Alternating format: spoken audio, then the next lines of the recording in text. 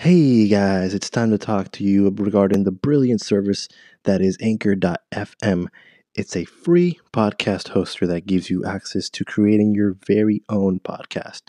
You can download for free on your phone, tablet, and computer, and you can create and edit directly from your device. And the best part, you can make money. We all want money. Anchor.fm or the Anchor app on your mobile device.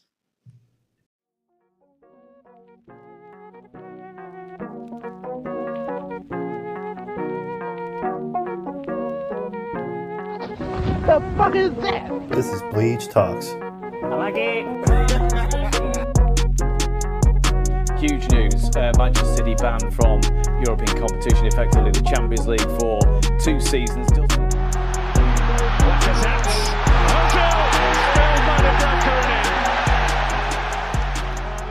Slabhead and VAR for the win, Arsenal win a game, and Brexit PSG are finished? This is Bleje Talks, hosted by Jonathan Martinez. You can follow me on Twitter at Jonny2Martinez. I'm going to start the podcast off solo, and then for part two, I'm going to be joined by a very special guest. But first, let's talk about Brexit PSG, the other team from Manchester. Hmm, that's right. We're going to talk about Manchester City, who were banned for two years by UEFA from all European competitions. So that includes the Champions League and the Europa League. And as someone who doesn't really care for Man City, oh, whoever whoever's listening and hates Man City or is not a Man City fan, you should be happy, ecstatic because man, I wanted to say, oh, I'm gonna say it, fuck Man City because they have literally bought the way their way into all these championships and us predicting them to win the Champions League and win the title three times in a row and win this and win that. They get whatever they want. And they've been breaking FFP for nearly a decade now. Arsene Wenger said it in 2000, I believe he said in 2011 that Real Madrid and PSG and City with the money they're spending are going to break all these rules. And 10 years later, they get banned, or at least one of them does. City gets banned. And this is amazing. Why? Because there's a lot of teams that struggle.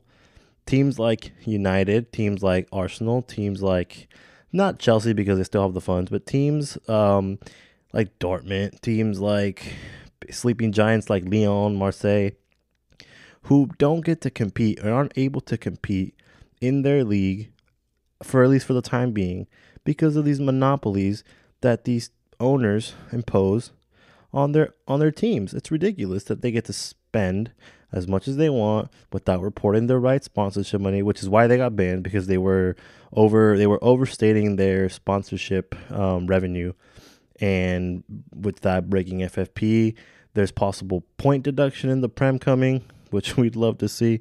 And then I think the biggest news, probably for most teams, um, who, or if you're a fan of a team in the prem, is that do do fit do City finish in the top four, which they will, fifth place will actually get the Champions League spot, which don't we we all love, of course, we all love. Now, don't get me wrong, me as an Arsenal fan, I don't think we'll make that spot just because we're really far behind and we've had an abysmal season. But there's always a chance. But for teams like United, Tottenham, Sheffield, who are doing a great job, Wolves, Chelsea already in it. I think they'll finish, but who knows? They have a real shot of getting Champions League football. So it makes the season, maybe the Prem, the entire Prem, just more enjoyable to watch now because all those teams in that little hole between fifth and like 11th, 12th, there's an eight point difference. It's not a lot. So shout out to Man City. And uh, yeah, fuck them. Um, and off the back of that, I'm going to talk about the game that I just finished watching, which was United taking on Chelsea at Stamford Bridge. It was I don't know, is the word good game? Was it a good game? It was a it was a decent game. One that I actually felt like Chelsea would win because they've been relatively strong in um in games where they're under the pressure. You know, they had when they had Tottenham and Arsenal in the same week, the pressure was on Lampard, and he and he and he got it done twice in a row in the same week. That was impressive. Today they only had one shot on target out of 17 shots. So I mean they had a lot of possession, but clearly that did nothing for them. It looks like Ole has Lampard's number. He's done the double over him this season in the Prem, four 0 then two 0 After what we thought, you know, we we had thought that after that four 0 the first day of the season, that you know Lampard's been been doing a great job with his young team. But he's he just has these moments in these games sometimes where he just you don't know if he sets up wrong. Maybe his players have the wrong attitude. But I know I, I, think he just got it wrong today. They have a really really solid midfield. And unfortunately, they lost Kante within the first 10, 12 minutes. But, you know, regardless, they still have a solid midfield. And they just couldn't get it done. Lampard, I don't know what it is about him. He, I mean, you could tell he's a young coach starting out. It's only his second season, technically, as a, well, yeah, it's second season. Last season, he was managing Derby County, almost got them promoted. And this season, he's had his great, I mean, they're in the top four. Don't get me wrong, they're in the top four, but it's like there's there's not much team. The league started out very poor. Like like look at Tottenham, look at Arsenal, look at United, way out of where they should be. Tottenham's lock, knocking on the door now, but they're they're all doing very poor. So yeah, it's very possible that Chelsea just ends up bottling completely. Um, yeah, but we could talk about the fact that Maguire probably should have been sent off. I know in the interview after he said that that he was trying to catch him and blah blah blah. But I'm like at the same time, I get that maybe it was accidental, but he still flung his he flung his studs like right at him and where it doesn't feel so good. Um, look, I don't I don't know if anybody's ever tried to catch someone that way. I don't know if it's in, instincts, but he probably should have been sent off. And he ended up scoring the second goal. He ended up scoring the decisive goal.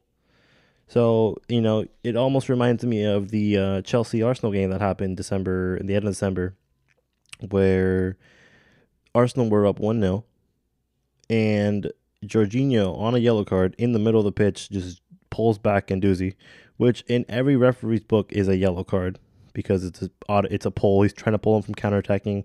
It's a yellow card. He was not given a yellow card, and he ended up scoring the tying goal. so I mean, these refereeing decisions. Don't get me wrong, Chelsea was still winning, but it changes the game when a player would have been sent off and you would have got to attack a team without a center back. And it completely changes the game. Um, next one I want to talk about is a game that I thought was going to be really entertaining. I mean, it had its entertaining moments, but Wolves and Leicester, um, I I expected so much better, so much better, but it it started off really boring and slow, and then it has like a five minute period of Traore and Maddison both both you know shining for their team. Jimenez, uh, I don't know if Jimenez had a stinker, but he was quiet, more quiet than usual, because I don't know if the way Leicester set up was just not allowing him to, or he just wasn't feeling on the day. Traore was running a lot of channels for them, but both teams really just couldn't get it done um, and it was a letdown. It was a huge letdown because I expected so much more from that game because you know it's the two best teams outside probably the best the top six as they say. Um, and then one other thing that we don't want to talk about, unfortunately we have to, is that Liverpool win again. They are just unstoppable. And I'll tell you what, they're not hard to create chances get, but to create chances against, sorry. But they're just unbeatable. Like they don't create dozens of chances. They create perfect, clear-cut chances that are almost impossible to save. And they are by far the best team on the planet currently. I don't see any team beating them over two legs. So, like, for example, I don't think Atletico Madrid will do it over two legs. I think they can maybe shock them in game one. I just don't think over two legs anybody can knock out this team currently. But who knows? Who knows? Um, we'll have a prediction for that later on the second half. So if you're if you care to listen to that, you can stay tuned. But yeah, it was a, uh, I believe, and forgive me if I'm wrong, but the goal scorer was Sorry for the delay here. It was Sadio Mane, who I think is probably one of the most underrated players on the planet. But I'm really tired of seeing Liverpool win. I think everybody's tired of seeing Liverpool win. I think it's really frustrating that the one team that's probably capable of uh, stopping them is totally in the mud right now. I'm looking at you, Brexit PSG, because you're really pissing me off. And now, before the break, or not the break, but before the second half of the show, I wouldn't call it a half, I'd call it a part. Let's get into Arsenal, who won a game. Not only won a game, didn't concede. Not only didn't concede, scored more than three goals. Won by four goals. 4 0. I was shocked. As an Arsenal fan myself, I know, I know, it sucks, unfortunately. We we were really good. We were really good. Uh, maybe not the first 30 minutes. I mean, I think we were decent, but l- you got to remember Newcastle sets up in a low block five. They play in a five. You know how those teams that play five but play like a three when they're attacking, kind of like Conte's teams, the the Chelsea team that won the title a couple years ago. Those type of teams, no, no, no, they don't do that. They play a full on five defenders at the back. Danny Rose was getting booed the whole time. ex-Spurs player, it was hilarious. Saint Maximin was probably the most dangerous player. The selection was quite surprising, and the fact that Nketiah started over Lacazette, I wasn't surprised Lacazette got dropped because he was qu- quite poor recently. But I expected Martinelli to play up front, or for Aubameyang to play up front and Martinelli shift out wide to the left. That one and Ceballos playing at um, one of the two holding mids with Xhaka instead of Torreira, I thought was a bold move that I didn't see coming. Um, I think we were slower in the first half because we didn't we didn't um, we didn't do what we were doing recently, where Aubameyang tucks in as a forward, Saka moves up. We didn't do it till the second half, and brings me on to my next point about Bukayo Saka, 18 years old, and I don't see a better English left back in the country currently. And that's not biased. That's that's genuine. I genuinely think he might have a shot at making the Euros team, just because England doesn't really have a great right back. I mean left back. Sorry.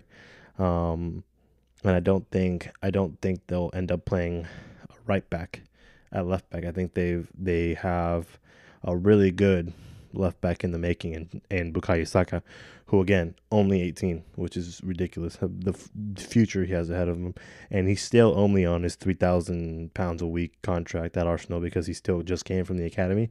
So hopefully Arsenal can sign a new contract with him soon, um, because we need that because where everybody else sucks basically we we grew into the game slowly. Um, towards the as soon as the second half started, you could feel the intensity. Uh, it wasn't anything technically. Tactically, we really did different. No subs or anything. We just we just played different, more intensity. Uh, first goal game from a Pepe cross, who Pepe was brilliant. He got a goal, two assists, and showing everybody because Arsenal fans know the talent on this guy, but everybody else doesn't because people only look at stats and think that's what makes a player, and it's not. But he literally every game he he does crazy things, and then this game finally shows up on the stat sheet until everybody pays attention. But he was even more brilliant today, putting in crosses left, right, and center, scoring on a Saka Meg after Saka megged two players, or sorry, he megged one, but went between two players, plays it uh, cut back back to Pepe, who finishes brilliantly, same similar to his goal against United, and then fucking Ozil scored a goal. Mesut Ozil scored a goal off of a Lacazette assist, who had just been subbed on. He had just been subbed on. He assists Mesut Ozil, Lacazette, and Ozil, the two most probably out of form not out of form, but just they're just not hitting what they're capable of recently, and they Mesut Ozil. I was shocked. I was really shocked. Um, so once Ozil makes it 3 0, I was completely in disbelief that this was Arsenal that was playing. And I thought, wow, this is the first time we've been done done this in a while. And then in the 94th, I believe, 93rd, Lacazette scores two And I'm over here going absolutely crazy on my couch because this man has failed to score since December and he hasn't scored a goal away from home in a year. Still hasn't because it was at home, but that you could see the excitement in his face when he scored that wow, this is my first goal since December. He's been getting criticized. He got benched today for it. And you just just really happy for him. Um, do I think this team will make a Champions League uh, spot race? I don't think so. Personally, I think it's too far off. I think it's. I mean, it's only like eight points, but you every single team in front of us would have to bottle, and we would have to not drop points. So it's really hard. But I mean, it is still February. We still got maybe what three months to go. So anything is possible. Um, obviously, as an Arsenal fan, you'd hope that they do get it done. I think the only way, but personally, I think the only way we'll get back in there is through the Europa League, and we have to get past Olympiacos first, and then we can't forget there's teams like Inter, United, um, Ajax are in there in the Europa League, so it's gonna be a, it's gonna be a hard one. It's gonna be a tough one, but I think we can possibly do it, and that's not the bias talking. That's the hope, and it's also the hope that kills you. So, but yeah, that's gonna wrap up the first part of the podcast because I'm going to get a special guest on for part two. So just low commercial break. I don't know if it's a commercial break, but you know, just some just some cool little music in there, and uh, we'll be right back.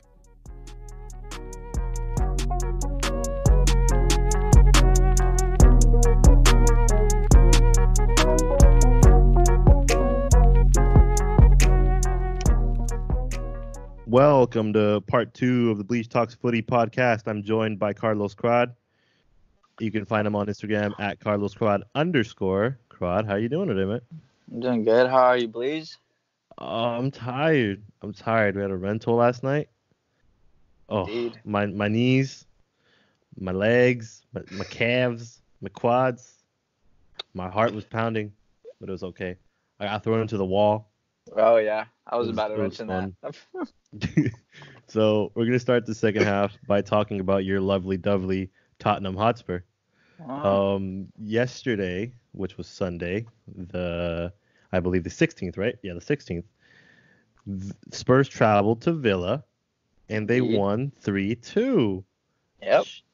In the last minute, in the dying, the dying minutes. How did you see that game?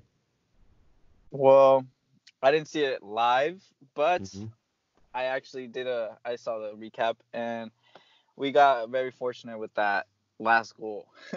Well, yeah, I. It was an exquisite finish from Son, of, of course. Of course, human But crowd. like he said, it he, he they didn't play well. Yeah, Uh, Alderweireld scored a goal, scored two goals actually. He did. one on his own goal, one on the opposite goal, and That is correct. I was Yeah, but ask, is none of them a striker played. now? All of a sudden, none of them played yeah. good. They're Yeah. they're pretty. It's just Villa, so it's nothing really. do you think special. it was? Do you think it was lucky or was it deserved? Because I think It they were still way better than Villa, but Uh, yeah, they were way better, but they weren't lucky. They and But it wasn't it- deserved. I don't know. It's just it, like, awkward. but if Villa would have won, it's like, eh, you know, you can't blame. Like you can totally blame Spurs for it because they should have performed better. And Definitely. yeah, they definitely got lucky with with that little mis. So for those who didn't watch, the defender literally, I think they just passed it back. No, or was it like a long back, ball? and then he tried to trap it, and then that, Yeah, he just totally. misjudged it, and Yeah, it went right under him. And then Spurs went. I mean, Son went all the way through, and then I think it was there was 30 seconds left. No, It was 90 literally like about 90 to finish. like 93, 45 around the 15 seconds left. Yeah. And uh, obviously, Spurs are climbing up the table since Mourinho was appointed. Uh, do you think they will make the top five I think so. We're we'll probably with honestly- consideration? Obviously, the top five is Champions League now, and it's because of Man City, because of Yeah. Brexit, Brexit PSG. But Yeah, um, do you, you you see them making top five? I think they do. Uh, Yeah. Mourinho wants to get something. Maybe if it's not a trophy, that fifth place will be a really good win for the season. Trying to get Champions League next season because I don't think we're gonna win it this year. Yeah. Duh. but I mean, they still the thing is they still they still have to play. Let me see, they got to play Palace, which is actually a hard game. Leicester, Newcastle, North London Derby, and Arsenal. Bournemouth is an easy game. Everton will be a hard game at that point because they'll be probably more solid. Sheffield will be a hard game for sure. Sheffield Ham- is really good. West Ham probably be a little easier. Um, United, and then you got Leipzig in the Champions League, which we'll Oh talk about later. Uh, Burnley, which is just annoying to play against. Uh, you got Wolves and Chelsea still left, and then obviously, yeah, so that's it. So it's a it's a tough schedule, but the good thing is you no longer have City and Liverpool to play, hmm which is Yeah. uh, always great. Always Monopoly FC. Yep. Monopoly Monopoly. Chester. Monopoly Chester. We'll talk a little bit. I have, I have a couple questions actually about that.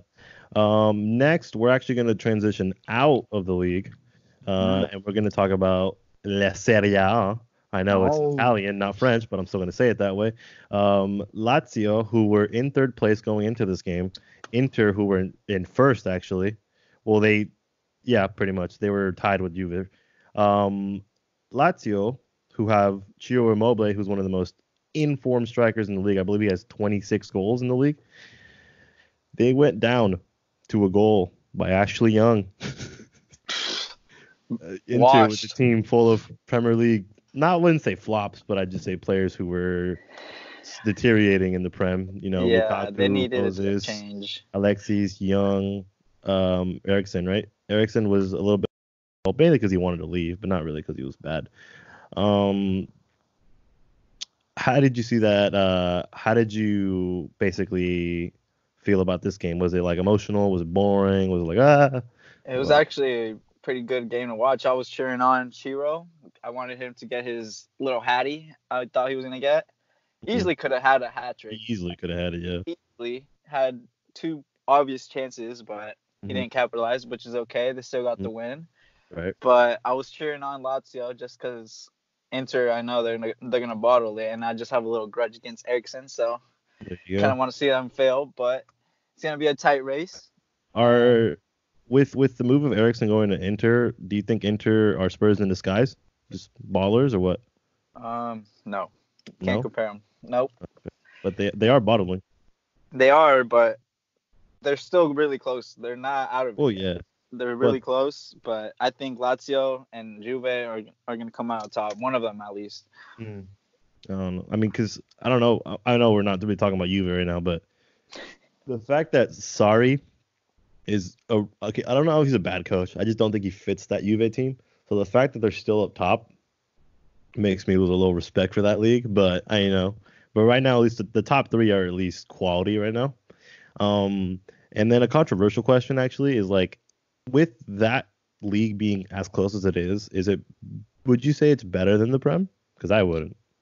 I wouldn't either. Yeah, I mean, because yeah, Liverpool's margin is what 25, 22 points ahead, but like you could still watch like eighth versus ninth, and it'll be it'll be quality compared to if you watch something from City. That's my opinion. Like I'll think the title race is close for the first time in a while, but but you know, it's like it's still not as entertaining as the other ones. Just this one game, you know. Yeah. And then basically the question what I was going into about like Ashley Young and Lukaku is like, do those players coming into this league make it look weak and like performing basically? Mm, I think Lukaku's still in his prime, even though he's not scoring goals left and right as he used to. But I think he's still in his prime. He still has something to prove. But if they let go of Lautaro, his little partner in crime, Mm. then it could his downfall could be going way more. But Yeah, because we'll just pair him with Alexis. Who yeah, and he doesn't want to be paired up with him. Exactly. But I think I don't know. I think it makes it look doesn't make it look bad, but does, it's not the best league in the world. I think. I think the Right. Bundesliga is like Oh, yeah. second to. Yeah. I mean, I it's better agree. than Serie A in my opinion. I would have covered a game from there if there was any like really good ones, but there wasn't. Um, and then we can actually get into UCL predictions. We're not going to go like the full the full throttle. We're going to go the first four games from this week, and we're going to talk about the first leg. But you can predict the, the tie if you would like, because I'm not completely sure on some of these. But the first one up is Liverpool traveling to Madrid to play Atleti. How do you see the first leg going? Oof.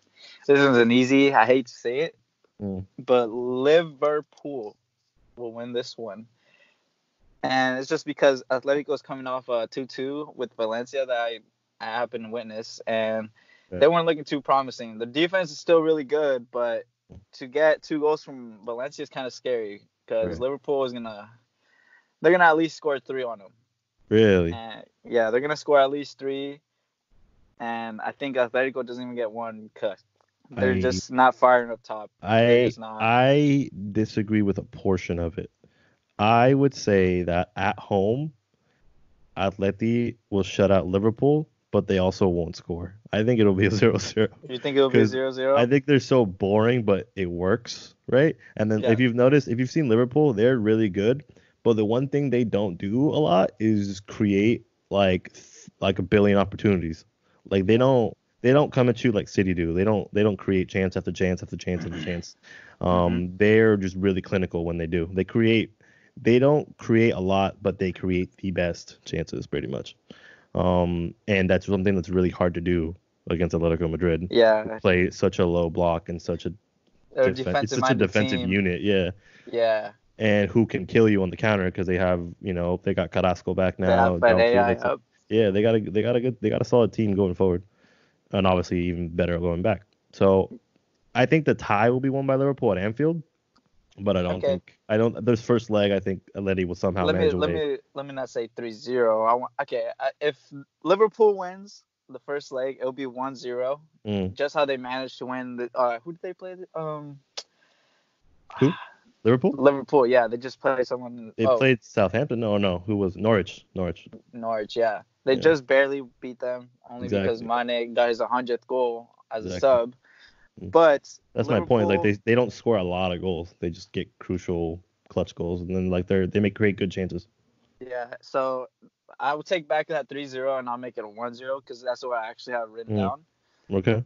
And if Atletico wins, which they probably won't, it'll probably be a 1-0 too. So either side Mhm. 1-0, but I think Liverpool wins the first Yeah. leg, and it's gonna bite them, bite them in the ass because when they get back home to Anfield, I think Atletico does something magical. Really, Yes, I I think Liverpool this year are gonna knock out early. really. Yeah, that's gonna be the upset. I think Liverpool will go through just barely on a one 0 overall. That's what I think. I don't think this is gonna be a high scoring game. I Neither just do doesn't. I. It, I don't think. Yeah, it, it can't. I don't think it'll be. Um. So your prediction is Atleti Atleti pull something magic in the second leg, Yes, but first leg Liverpool win it Liverpool barely. take it. Yeah, barely. Okay. My prediction is that Liverpool, or they, I think it's a draw first game, and then Liverpool narrowly wins it. Um, let's move on to the next basketball game that is Dortmund PSG, because this is Oh, gonna be a, I, I have a, I this have is gonna be ones. this is gonna be a full on NBA All Star game. Uh-huh. Um, so Dortmund PSG, how do you see this one going? oh well, Dortmund's defense is not the best, but Yep. their attacking makes up for that defense because they will score and score and score. But Mhm. they will also let in a bunch of goals. So Yup. and it's PSG, so that's not it's not in their favor. But Dortmund Mm-hmm. are at home, crazy atmosphere in there. Mhm. The yellow wall. Right. Mm. I think Dortmund. I think Dortmund loses at home. Really? Yeah. Okay. But PSG, I wonder if Neymar will be back because I don't think he's back right now. He's such I'm a not too fraud, sure. isn't he? Ah, dude, I don't, I don't like- know what's up with that guy. I think he plays whenever he wants at this Yep. point. Yep. But I think Dortmund lose at home, and I think actually PSG takes it. I take he takes they take the series. They're not gonna. Dortmund's PSG too take young. the series? Yeah, PSG takes the series, but Mm. the first game they're winning three two. Right. And if there's if it's a tie, it's gonna be a three-three goal fest. Okay. Haaland and and Sancho on the score sheet for Dortmund. PSG probably has Icardi for a brace, and then Sarabia maybe hmm first leg at least. It's gonna be a, this one's gonna be probably the most like high scoring. Uh, oh, for sure. It's definitely gonna be a basketball game. Yeah, Hundred percent. Um. Yeah. I t- I take PSG winning the first and second leg. PSG wins three two the first leg, mhm. and I won't even predict the second leg because I Mhm. I just think PSG are gonna win. Here's here's my my prediction. Here's my prediction. Okay. Uh-huh. Be, um, Dortmund at home are gonna play very emotional, so they're gonna go at PSG, And when I think of the fact that it's most likely, no matter what, going to be a fucking NBA game, right?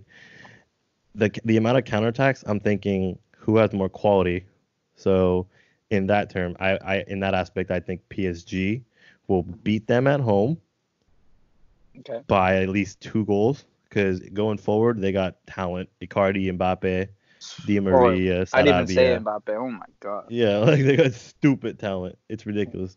Don't get Dortmund have great talent, but they have potential talent. They have uh, where in terms of G, PSG have made talent already, experienced players. Uh, a lot of these Dortmund players haven't actually played in a qualifier of this magnitude, at least against like a team like PSG. Um, Unless you're But Ho- Haaland. yeah, but here's the thing: on the return leg, PSG will find a way to choke it because they are PSG. Yeah, it's I think before. I think I think Dortmund will win. I mean, will will lose the first leg. I don't say convincingly, but I think it'll be like 4-2, 3-1, maybe even like 5-3. I don't know. You never know with these with these two teams. But the second leg, it'll be similar for me. It'll be similar to what happened with United last season, Mm. where they literally had no chance of fucking it up. They had all the odds ahead of them.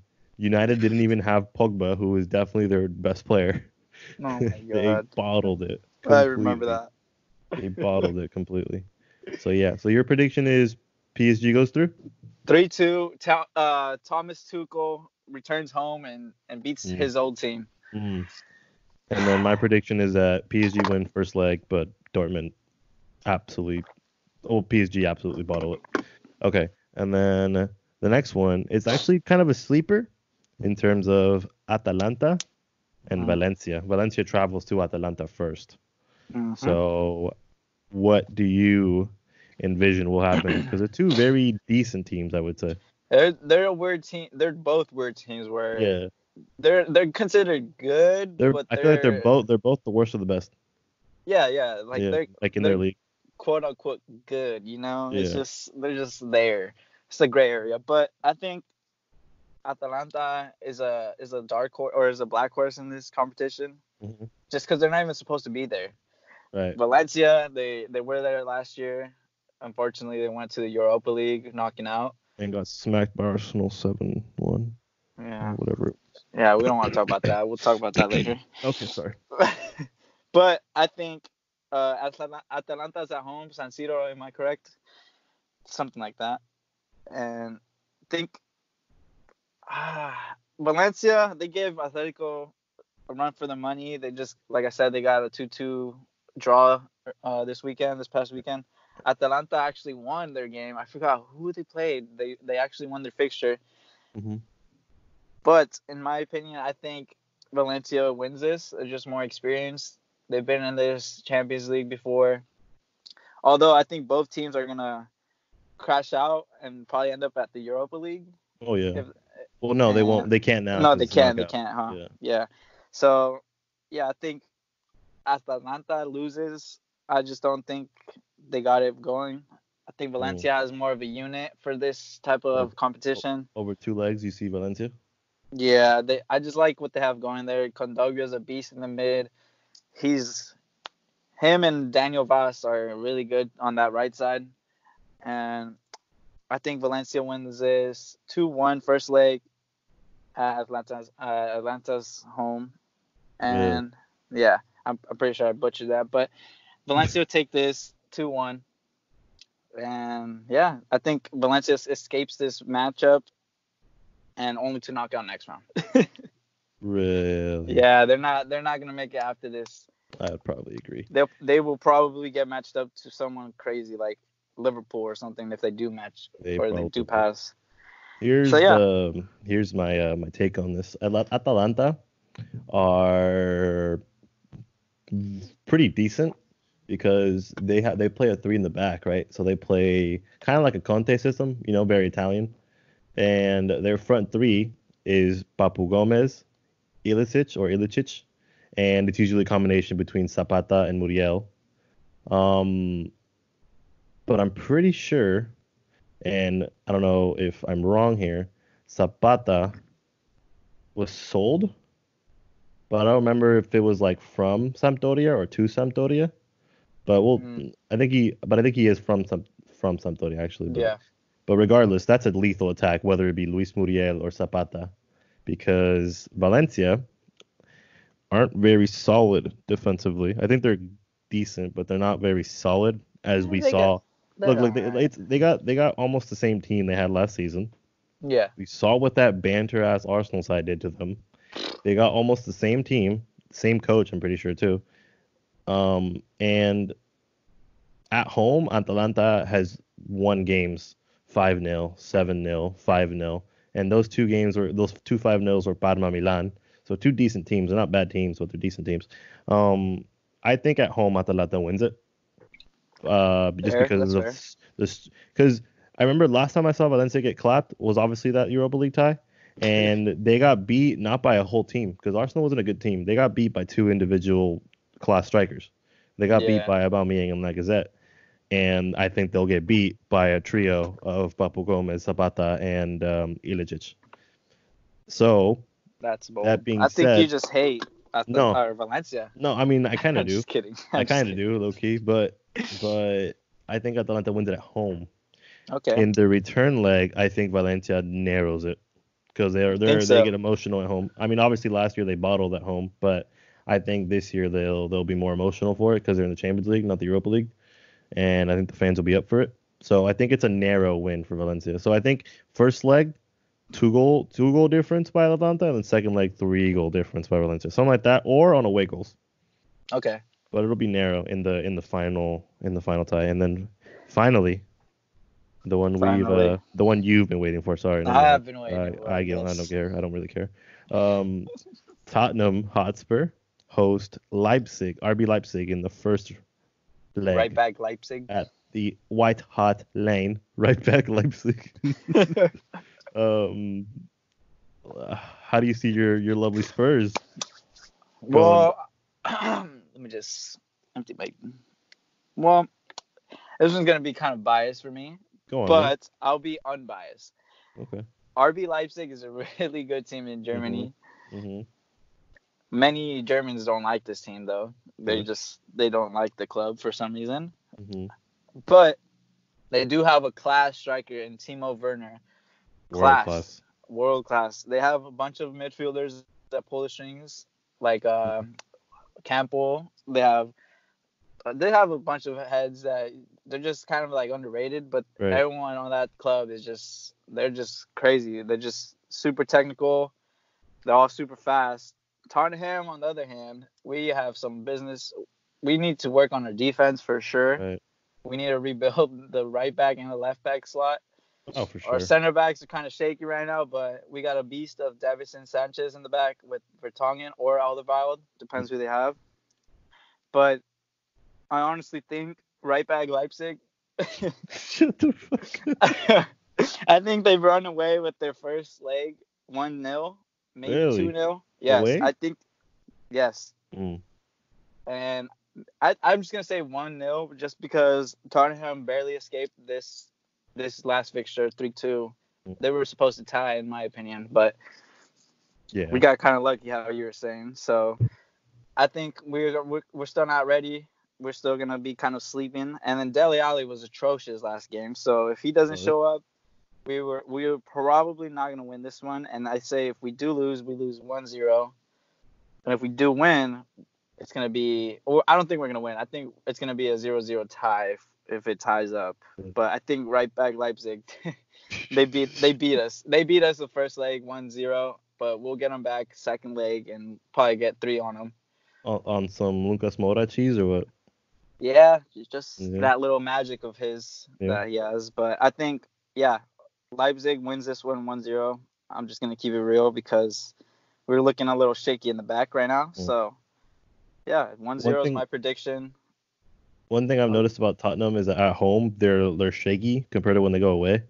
Yeah, So like at home, I feel like it's like such a big pressure with that stadium. I don't know if it's just a stadium, but like they they tend to be more shaky at home, as in like they make a lot of mistakes compared to like when they play. Don't get me wrong, they're not perfect away either, but like they're more disciplined, I would say, when they're when they play away. They play like with their backs against the wall. When Yeah, away. basically. And and um I think at home, like you say, Leipzig will take it. I think I think Werner would be too much. from the Yeah. handle there. Oh my god. Um, but on the return leg, I think the the thing is that both stadiums have really good atmospheres. they So do. it's gonna be it's gonna be a good leg. It's gonna be a, definitely a good tie. I think it's like a perfect match for Tottenham, in- Yeah. in my opinion, because they're just like, ah, they're just they could be great, Mhm. but they just need a few more little pieces, and then they could not great, but they could be like way better than they are right Yeah. now. I think one thing we're also not talking about is the fact that Mourinho is a Champions League expert. So I think I think Spurs will go through on a tie, but on a goals. So I think it'll be like one 0 and then two one for Spurs after, or like or like two one for for for, uh, for Leipzig and then like three two for Werner. Yeah, shut up, bitch. That's his team. Yeah, it's Oh. his team. He's gonna score the goals. right back Leipzig. Um, but they got a lot of other players too that could that could do a lot of damage, like Poulsen, Sabitzer, those type of players that are really Exactly. dangerous. Yeah, So- Sabitzer, he's he's a fucking. Yeah, Oh we god. both we both got Spurs going through, unfortunately. Yeah, we do, but you didn't say your scoreline. I said I said 1-0 first half. Uh-huh. RB takes it. Second leg, Tottenham somehow wins it just because they have the away goals and all that. That's what I'm saying. That's what I'm saying Yeah. too. I think they'll they'll win on away goals. I think they'll tie, but I think they'll win on away goals because Mourinho is a masterclass in terms of Champions League. Yeah. Um, I don't know if he's out of like, maybe like I know people a lot of people say like oh he's you know he's an old he's, he's old it's an old game he doesn't that's not played anymore but I mean he's still Mourinho he still has found a way to beat teams still with his Tottenham team so Trophy Mourinho. so we're gonna get on to the questions now actually um Alright. I got one I got actually I got like three from Alex Sir Alex Bustos one of one Alex uh Okay. his first question is what do you think about money issues going on in football? For example, with City and PSG having all the money in the world to buy who they want, what are the pros and cons to the situation? Uh, I'll let you answer first if you have an answer. Um, I I don't like Monopoly Chester FC for this reason. They're just. Brexit Club- PSG. they're just I don't know clubs in general that have this much money. I think this is why RB Leipzig is not really liked in Yeah, for this thing. reason because they, They just don't have the same amount of money, but they still have a lot of money. yeah like they bought basically their whole squad and they Mhm. just worked their way up each Yep. division, which is kind of like it's kind of like unfair because there's like actual clubs that started from the bottom, I guess, and just like you know like Spurs, but Right. like but like realistically, it's just like you just buying teams just like that. that is like kind of Mhm. paying your way into like champions. Obviously, you still got to make it work. You got to get the coaching and all that. Mhm. There's a bunch of variables to it, but for the most Mm-hmm. part, you could really buy class players and make it work just like that. Right. And I'm I'm kind of like in between because I've I've never been like super into like those big teams like PSG, Manchester City, like you know all those like super rich teams or Yeah. Barca, Real Madrid. But I think I mean if they have it, they're obviously gonna be able to use it. So at the same time, you can't really hate on them for that. But Right. it does suck that money does talk and money does like kind of it doesn't guarantee you trophies because look at PSG, but Right. but well, it guarantees mean, them a league trophy that they would have won anyway. But yeah, I guess.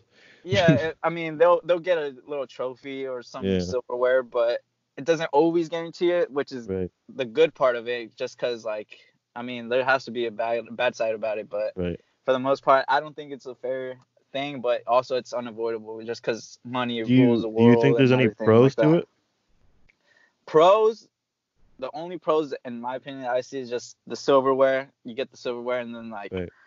you obviously get a bigger fan base, and just the club grows and stuff. But Mhm. like, I I don't think I'm I'm like really like, with it. I guess. Yeah. Uh, I'm just kind of just there. I'm just like, well, whatever, you know. The but um, the only pros I really see in it are in terms of the Champions League. So like in terms of like you get more um, a lot of the matches are like blockbuster matches now because of the teams that have grown.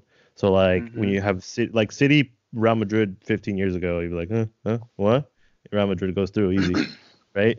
You know, you have teams like PSG who they were good maybe 15 years ago, but they weren't they weren't like a monopoly on their league. There was still Lyon, Mo- uh, you know, Montpellier, Marseille, teams that are teams that were still in that on that same level. But I mean, Yeah. PSG was always just a slight level ahead. Um, teams like RB Leipzig. So like before it'd be like German teams, okay, Dortmund and Bayern, that's it. But RB Leipzig has joined and made like a made it more. So like when a Leipzig matches up with with Tottenham now, we get like whoa, this is a good matchup. Compared Yep. to like if that happened ten years ago, wouldn't be a good matchup. Team didn't even exist, right? So that's the only pro I see, and all the cons I see are that first of all, it totally puts a like um th- no one's gonna remember City, PSG as historic. Oh, I guess they'll remember as historic record teams, but you know Manchester isn't gonna be blue all of a sudden. It's not gonna change. It's they didn't grow. They didn't grow as a club. They literally purchased everything. It demoralizes the hard work that's actually been put in. So like so all this money being spent, there's still coaches working hard. There's still the club working hard to make sure these coaches are the right fit. They make sure they buy the right players. It's a really well run club at City, but it it basically all that money that's spent basically I don't I, I wouldn't say like cancels it out, but it just it's not going to be appreciated because like you wouldn't have all this facility and all this staff, all this great stuff with all the money. It's um and it's getting to the point now. Obviously, where we, I talked about it earlier, but City got a ban for it. PSG would Mhm. probably end up getting a ban for it. Um, I think I think um, I think more teams now are going to start getting these bans. Uh, mainly because Sir Arsene Wenger is now working at FIFA, but that's another topic for discussion. But um, but you know these teams that are just buying their way into the Champions League, buying their way into these transfers, like overpaying for transfers. You know, like City definitely overpay for transfers, PSG definitely overpay for transfers. Barca and Madrid also do, but they've kind of created that stature. They've had it forever, so it's like Yeah, they I don't did. I don't know if they kind of get a pass, but it's like it's like it's not like they like all of a sudden were were owned by or bought out by an oil company. You know, it's not like that. It's different there. Um, and then we're gonna move on to the next question from Alex, and that is, who do you? Go ahead. right before you get into the other question, like how you said uh, Real Madrid and Barca, like they get the pass technically. Yeah. I mean, those teams are like they're historically like known, you know what I mean? Yeah. The winning team. So like it's kind of like a dream for players to go to Barca or Real Exactly. Madrid. No one what I mean? dreams about It's- going to City and PSG. Yeah, like Yeah. not really because I mean just for other than the money wise, you're gonna dream about going. But if, like just historically speaking, like how Barca and Real Madrid are two like for the biggest clubs in like the world and like Right. probably will be forever and ever. Right. I think it's like I think it's way better. Like that's th- they get the pass in a way because they they have the money because they're such a popular team. hmm They're they both have happen to be in Spain. They're Right. rivals, you know. So I feel like in a way they do get the pass just because like they could sign a big player. They like they Right. sign Griezmann, like they sign like those star players, and it, it looks cool. Like when you see players like at that level join like a team like Barca or Real Yeah. Madrid, it's like picking your poison. It's like Right. which side are you gonna choose? You know what I mean? Right. So I think for those type of teams that like built it from the like ground up and they've had a bunch of history of just winning and that mentality, then it's a good thing. I think. Yeah, I see what you mean. Um, actually, I'm just gonna go on to Braulio's question. Braulio, I had a question about um about Barca Madrid. Actually, he said, "Do you feel like big teams like Real Madrid and Barcelona sort of ruin the competitive side of football?" And I'm gonna answer first. Actually, I think no, because first of all, there's always been teams that beat them, and second of all, there's teams that are probably better than both of them currently in the Champions League. Um, I think what he means, I think what he means is that like before, when Messi and Ronaldo and the Guardiola Mourinho era, when they were so dominant and nobody else would win anything, I think it, it it didn't ruin it, but it was almost like it was almost like, hmm, I mean, which one of the two are gonna win? It wasn't ever, or like who could stop them, but it wasn't Yeah. ever like who can win it this year. Besides, you know, it was always like it was always um it was always one of those two. But I don't think it ruins football because you know we want to see good teams. We want to see teams break barriers and break records. So I don't think it necessarily Exactly. ruins football. Uh, do you would you agree or do you have a different take?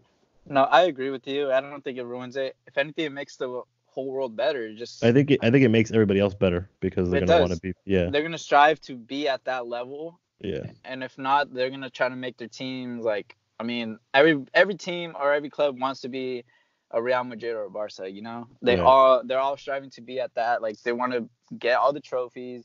Mhm. I mean, I, I, I get it. I, like it looks unfair and stuff, but in soccer, it's just yeah that's the thing. Like it's always it's always good to have a better playing against a better team. Just the fact Right. that's gonna make you better personally, hmm and it's just gonna make the whole like I guess the world better. Just the Yeah. fact that they they want to step it up and just compete.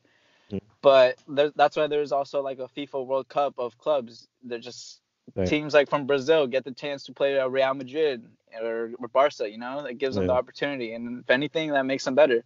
Yeah. But I think that dominance of like how there was once like uh Real Madrid or that Barca team from Yeah. like 08 to 12. You know what Yep. I mean? Mhm.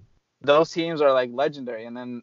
I think that they're they dominated at those four years, but Mm. think about it. It's But they didn't always years. win. Yeah, they didn't always Yeah. win. And Real Madrid right now is not winning, or they're winning, but they're not Real Madrid they were with Ronaldo. You know what I mean? Yeah. They're they're looking like kind of iffy, which is good because I mean Mm. all good things come to an end. But And know, Zidane's a fraud. You can't forget that. oh my god, shout yeah, out, shout out, shout out, Daniel. Zidane, Zidane's a fraud. yeah, he he got the easiest three Champions Leagues I've ever seen. I would, I would, I would, I would mostly agree. I think he's decent, But- but he's not, he's not, he's not a great coach. I would say. No, but he's a great player. But back to the question of that Braulio had, I don't think clubs like that. It's like it's not considered unfair. I think. Right. I think it's just a part of the game. There's always Mhm. gonna be a top dog or dogs, I guess. hmm And yeah, just right now, it, it, it doesn't even look like Barca or Real Madrid are like the dominant team, and it's No. kind of up for grabs right now. Like I think at this point right now in the soccer world, there's a team or a club, I should say. Well, Liverpool is probably the closest one to that right now, but Mhm. I think there's plenty of teams trying to be that team, like Mhm. Real Madrid and Barca once Yeah. were, you know. So, let me, think- um, let me follow it up with you actually with Alex's second question. Who do you think legitimately has a better chance of winning the Champions League this season? And but on that note, who do you personally favor to win it? Who would you want to win it? And then who do you think will win it? want me to answer this one first? Go ahead. So who I will personally want to win it, you already know. Unlucky. It's gonna be uh, uh, it's just gonna be my biased answer is gonna be Tottenham, obviously, just because we're Mhm. runner backs and Right. we're we're we're kind of like the slept on team, even though last year was yeah. uh, it was it was kind on. of lucky. It was kind of lucky, but at the same time. I same think time, they're more slept on this season because nobody like real. I could because they've been poor, but they got Mourinho now, so yeah, he can so- he can make shit happen usually. Yep. So, yeah. Um, but yeah, who I want to win personally, Tottenham, of course.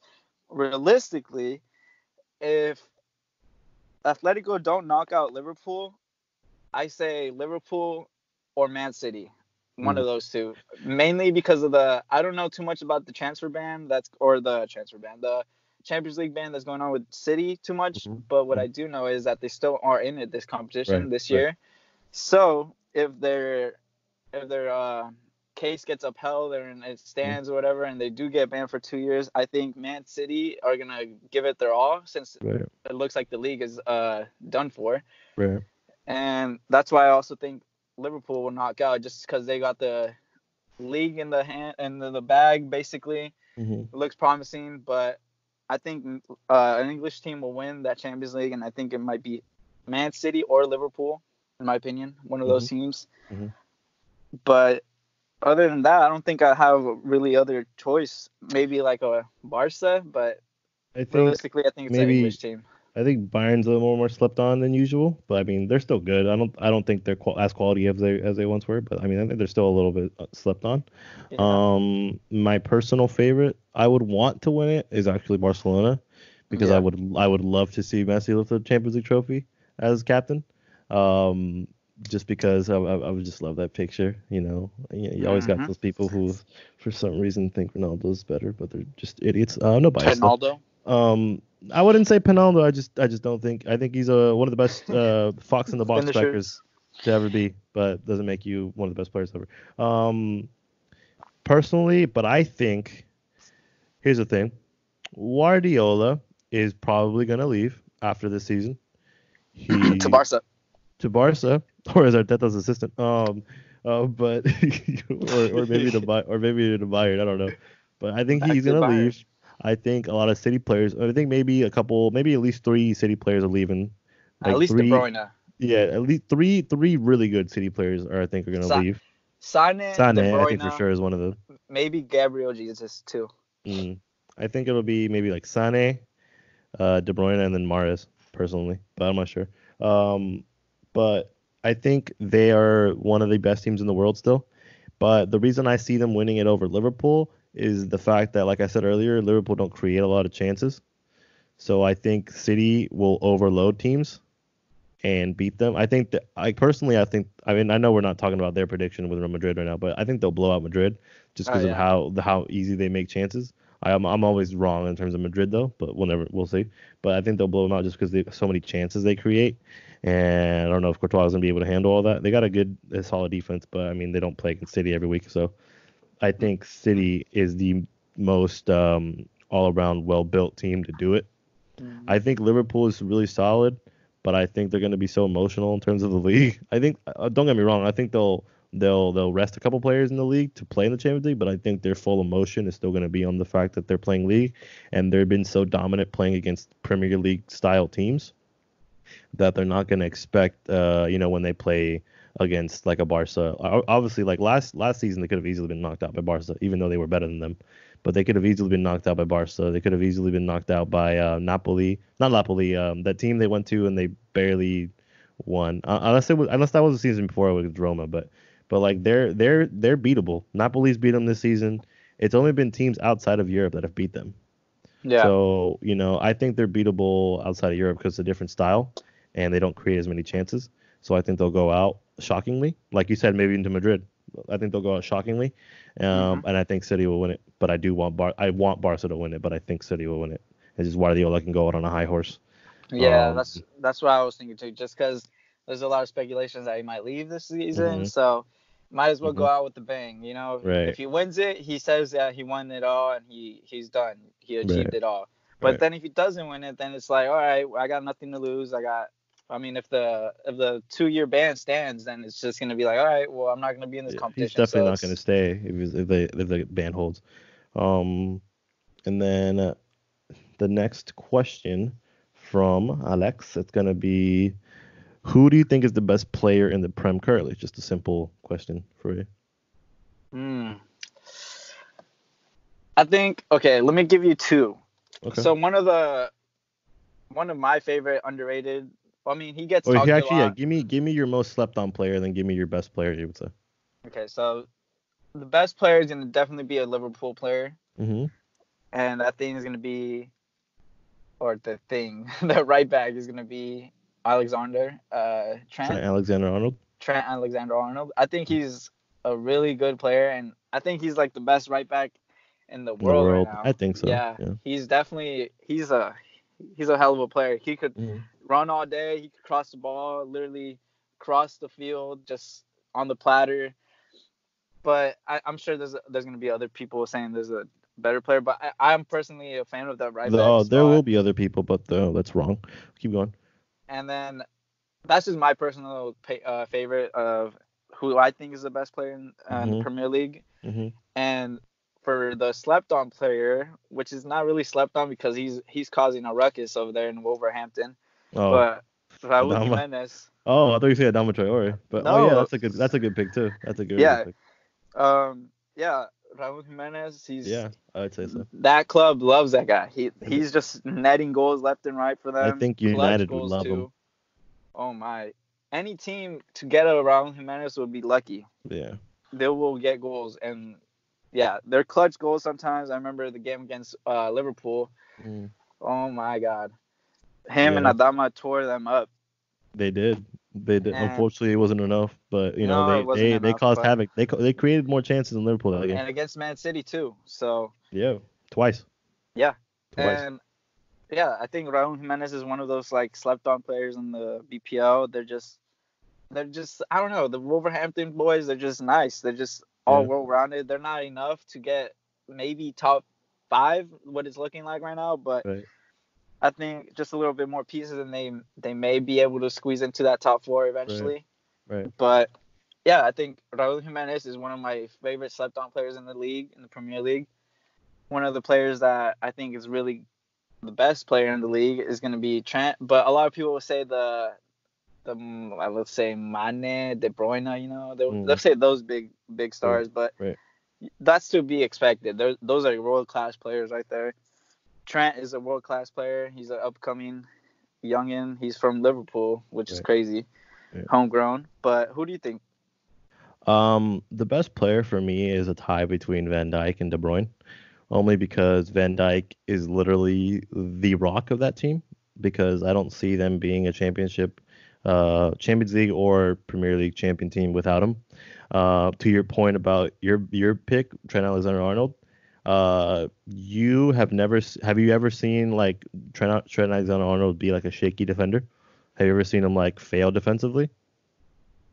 Um, Not really, right? I want to say I have, but I don't remember the last time I actually saw it. That's that's mainly because of Van Dijk. Because Van Dijk is all over the place in terms of like he covers whoever is going up. The reason Trent and Robertson aren't amazing defenders, but that back line of Van Dijk and then usually Mate Gomez keeps Yeah. them in check.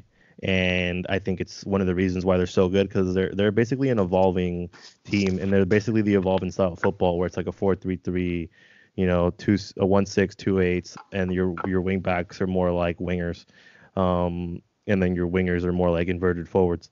So I think they play that style perfectly, and I think Van Dijk without Van Dijk they can't do it. Okay. Um, I would say I want to say De Bruyne just because he's just fucking excellent technically. Yeah, yeah, yeah. Um, but I don't know. It's just I don't think he um he's as important to that team as he as Van Dijk is to the Liverpool.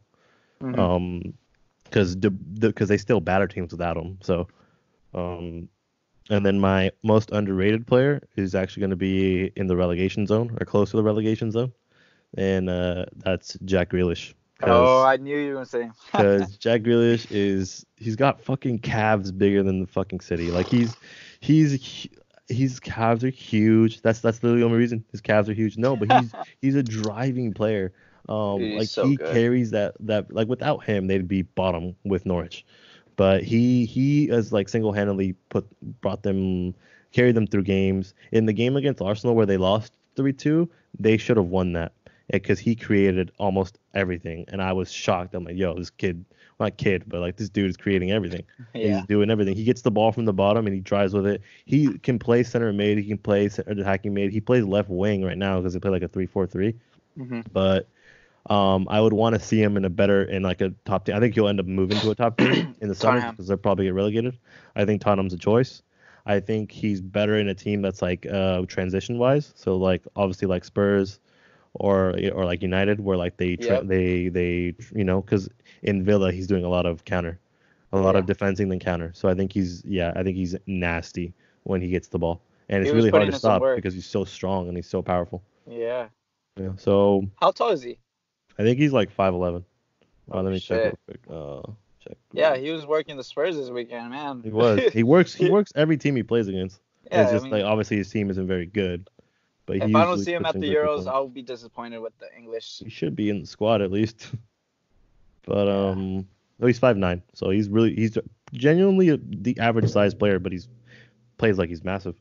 Yeah. Um, and then this one is a question from Automatic from Orlando. Uh, Mm, it's actually just for you, and it's a what are the tactical differences you see from Mourinho compared to Poch in terms of lineups, formations, tactics, and and after that, um, he says, do you think the team will use the market more? Well, basically, will they do more transfers now under Mourinho? um, for the market, I think we will definitely sign players. Oh yeah, I think I think uh Levy or Levi uh will will yeah Le- Levy will let Mourinho play with some money, and I think he already has some people in mind that I've Right. heard and heard speculations about. Mhm. Uh, like that one right back uh, from Norwich, Aarons. right. He uh he's on the. I think that's a definitely must cop, and I do think, like I said, back uh, back to the transfer question. I think they will sign at least two or three players. They're not going to be superstars or anything, but they will definitely sign some key components they need. They we need a D Right. mid, we need a right back, and we probably need a striker just in case Harry Would- Kane gets hurt Did you again. say you need a left back too, or no? Uh, I I thought we did, but that man uh Tangage or Tangege, I don't even know how to say his name. Tanganga. Tanganga. Tanganga. Yeah, he's Yeah. back. He he uh Mourinho really believes in him. He Yeah. he doesn't even play left back, but Mourinho just sees something He, in him. he does it very could- well. Yeah, and he's a big guy, so I think he could hold up that left back he's a very position. He's- Mourinho style wing back. Yeah, and he's 20 years old, so he has a lot of things going for him. Mhm. But also about tactical, uh, like tactical switches and just everything going on in the back room. I think Mourinho just brings that winning mentality. So I think the players are on the same page where they they'll do they'll play anywhere or do anything just to win, which is a good thing, but it's also kind of a bad just because you don't want players not playing in the position that they desire, such as Lucas. He likes playing to the right wing, but Mourinho usually uh, inserts him at the striker right now. But I think so far with Mourinho coming to the club, I think it's a really good change. The mentality is going to be better than Pochettino's, but I can't disrespect Pochettino because he did the best he could. He he worked with what he had. Right. But I think it's a totally different play style, and I think Mourinho is actually. I don't think he's gonna win anything this year, but I think next year they do some some work, and with Yeah. some building pieces, I think they'll they'll only get better. Right. 'Cause One thing I've noticed is that formation wise, they play exactly the same. Uh, Yeah. in terms of play style, they they're just more um there's more of a plan in terms of like so I don't think it's as like pretty. It's not as pretty as the Pochettino's football, but it's more organized. Um, so like they're they're like you can see what they're trying to do. Like I've noticed when he first got there, they were doing a lot of over the top balls, like really long runs, like to Dele Alli. Um, and it's just more of a it's more of a plan compared to like Poch's football, which is more Arsene Wenger like, where it's more just scattered and try to score more than them. Um, but compared to Mourinho, where it's like he's more, I think he's still got a little bit defensive fragilities, but it'll come with transfers and more time. Um, but yeah, I think it's just more of a plan. Um, and then our our final two questions. One of them is kind of serious. One of them is kind of not. You can guess which one's serious. Uh, Guillermo G, little Guillermo Gonzalez over there. Geronimo. Geronimo says, "Tell me why America is the best football club in the world." And That's because they're shit, mate. Um, what about you, Croy? What do you think? I agree with that statement. They are the best club in the world. I I, I would say they're uh, better than their uh, rivals. Uh, you know. Yeah, Um, yeah. We don't we don't want to speak about them though. Yeah. Also, why do you think uh, soccer, as he says, I'm gonna say football? Why do you think football is not respected enough in the United States? Ah, well, in the United States, well, this is all my opinion. All right, what I ahead. see, what I see, I, I just think it's soccer or football over here in the states is Mm-hmm. considered kind of like a rich person sport in a way, Mm, and the fact that club to get in the club team is pretty expensive, yeah, pay to play.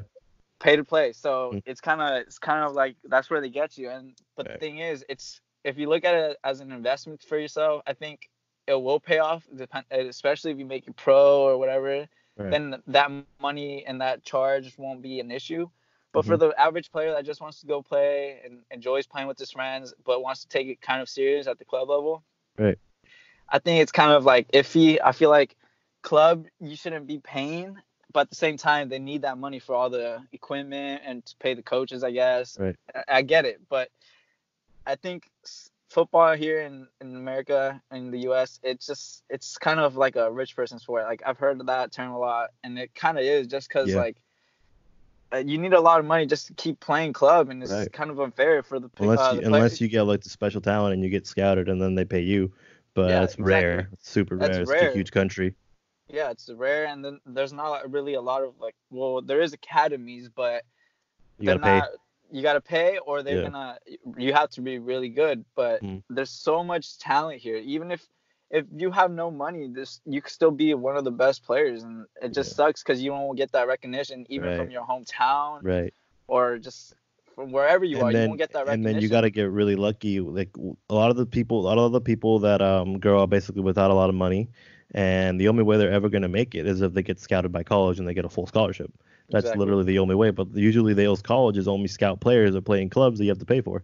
So it's like a bit of a it's a bit of a broken system. And then I would I would add to you everything you just said in the fact that also America grew up with all these sports that were um, America's always has a history of being different from everybody else.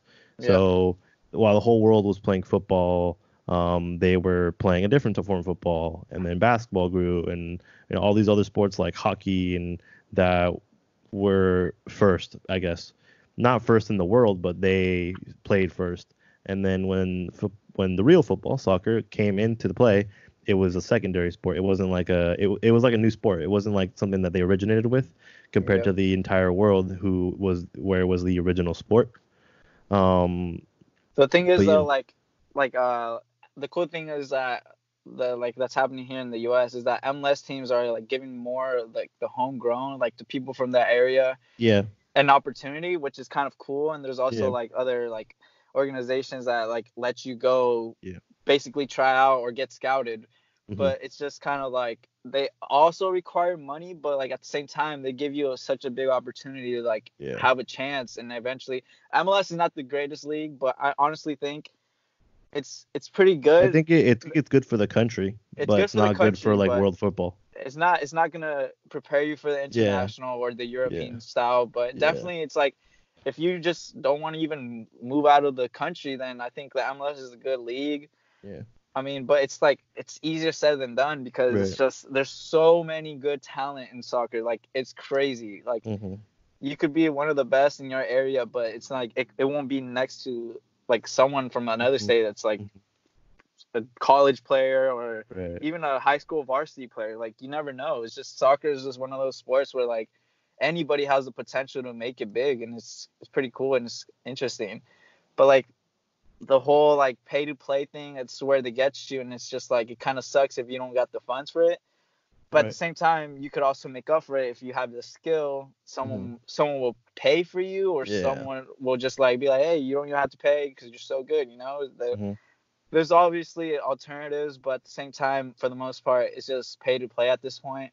Right. And I hate I hate when people don't want to go play pickup game and just just because they don't want to pay a few bucks. But it's like, bro, like you know, it's it's nothing. You're gonna Yeah. have fun and everything, but that's just pickup. But like for more serious competitions, and it's just I don't know. I just think they should change the. It's not gonna change. I, I don't think it will change, but it would be cool to see some club teams basically for free. That would be changing, and you never Yeah. know. Maybe you have more professionals coming out like that. Just the fact that they don't have to pay, Mhm.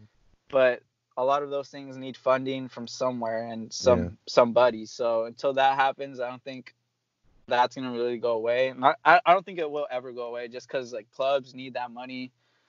And yeah, just they need equipment and stuff Yeah. like that, all the little stuff they need. But yeah, I, I don't know. There's a lot of stuff we could talk about soccer in the U.S. hmm that is not good. So much different to everybody else in the world. Um, yeah, Yep, that pretty much sums up the first footy pod. Uh, I want to thank Crod for being on the pod. Thank, Thank you, you. sir. Um, on Thursday, uh, I might. This is a might. I might make a small podcast in terms of the Champions League football that happens in the next coming days. So just basically what I thought of the games, what I think will happen next leg, and then Friday we'll have the second episode of the, the standard basically Bleje Talks, where we'll talk about something, and I will have a special guest that day. Who knows who will be? Stay tuned. Uh, thank you, Crod. Uh, thank you, Bleje. I'll see you soon. All right, sounds good. Sounds good, Bleje bro. Talks. I like it.